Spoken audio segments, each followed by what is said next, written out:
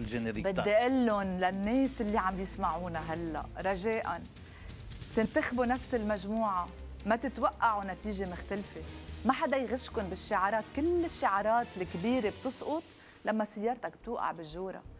هيدا ذل للمواطن. قولوا لهم بكفي وخلينا نكفي بمواطنية حقيقية بهيدا البلد.